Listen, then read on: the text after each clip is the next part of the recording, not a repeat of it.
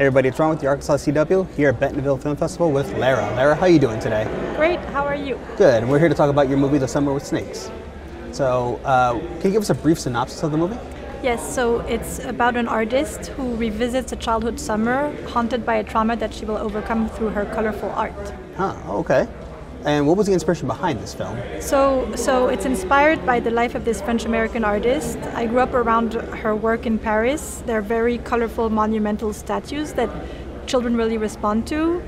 Um, and then when I went to the retrospective of her life's work, I found out that she had had a very traumatic, sad childhood, and I thought that the contrast between the sadness of her life and the joy in her art was very interesting. Right. And I wanted to explore the idea that you can overcome trauma through art. Definitely, yeah. No, I have a really good friend of mine, very close to me. She's a painter as well, and some of her work, you can see like the pain that can be behind it all. So I can definitely understand that. Yeah. Um, but what's interesting here is that she really makes, make, she, you don't see the pain, but like she got to that place. I think uh, she has these different artistic phases, and so the the colorful, joyful phase is kind of her reclaiming the childlike joy that she had lost. Right. Yes. Yeah. Yeah. Just like through a life, you know, you evolve Yeah. not only as a person, but in this case, as an artist. Yes.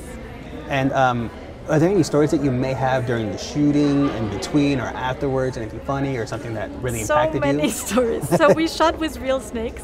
Oh, So really? so and and we had a snake wrangler. The snakes were non-venomous. It was all you know safe. Right, right. But obviously, some crew members are afraid of snakes. I personally am not, but my first AD was. He's wonderful and a producer as well. Um, and and then the the there was there's a there's a scene where there's a black snake coming from underneath a doorway Oh, and the Steadicam operator was like there in the doorway, and there was a blackout during the shoot. So suddenly it gets pitch black, Oh, and no. the snake is kind of like roaming free, and people are like freaking out.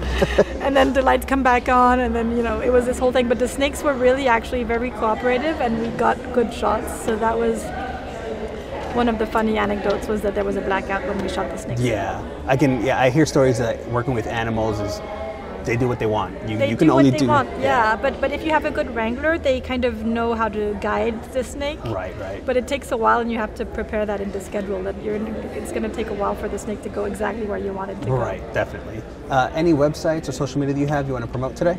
Um, so my website is my first name and last name, larapanahizadi.com. Um, and my social media is lalapana, L A L A P A N A. Awesome. Well, thank you so much for your time, and it sounds super interesting. This film. Thank you. Thank really you. nice to meet you. You Thank as well. You for Thank having you. me.